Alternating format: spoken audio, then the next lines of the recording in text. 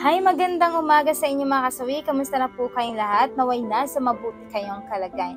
At, mag, at mag-iingat kayo palagi mga kasawi. At syempre, alam ko na marami nagre-request nito mga kasawi na ano ang tatlong sign na gusto nang makipaghiwalay ng isang babae sa isang lalaki. Ang unang sign natin mga kasawi is hinihintay lang niya na ikaw ang magsalita sa kanya ng salitang hiwalay.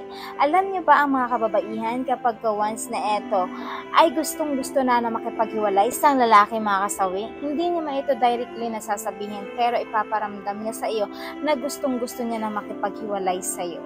Yung ipaparamdam niya sa iyo na parang baliwala ka lang. Kung dati, grabe yung sobrang epekto mo para sa kanya, yung sinasabi sabi mo pa lang, grabe na siya katakot sa'yo para hindi mo bitawan ang salitang hiwalay.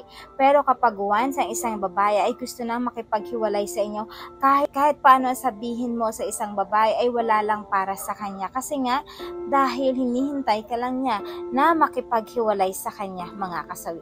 Ayan yung ating una na sign. Ang pangalawang sign mga is dead maka na lang. Ayan.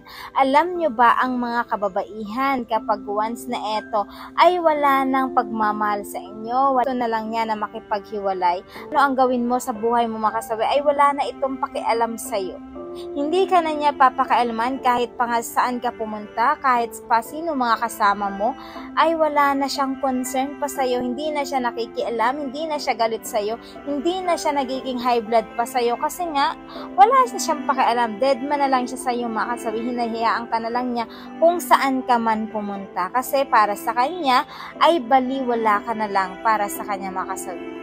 So gusto na lang niya talaga sa iyo na makipaghiwalay ka na lang or kumalas ka na lang para sa kanya at ikaw na lang ang naghihintay at mapapagod sa pinaparamdam sa iyo ng isang babae, mga kasabi. Ayan yung ating pangalawa na sign.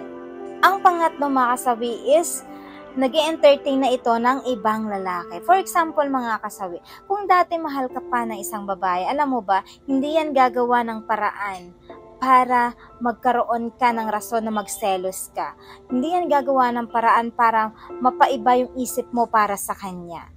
Alam mo ba kung bakit? Kasi kontento siya na ikaw lang para sa kanya. Wala siyang pakialam sa mga kalalakihan kahit na may gusto sa kanya, nagpaparamdam sa kanya. Kasi nga, dahil na andyan ka pa para sa kanya at mahal na mahal ka pa niya. Pero kapag kang isang babae, wala nang pagmamahal sa iyong mga kasawi, alam mo ba, mag entertain na yan ng ibang lalaki. mag accept niya ng ibang manliligaw para naman malaman mo na meron na siyang ibang lalaki. At syempre ikaw kapag nalaman mo yun magagalit ka makikipaghiwalay na ito para sa iyo parang ending ikaw pa rin ang kumalas at bumitaw sa inyong relasyon mga kasabi ayan yung ating pangatlo na sign hindi mawawala yung aking advice sa topic na ito mga kasabi. Pakinggan niyo ito mga kalalakihan. Kapag ka ang isang babae ay talagang ito yung ginagawa isa, dalawa, tatlo, alam niyo ba, wag niyo nang i-push ang inyong relasyon mga kasawi sa mga kalalakihan.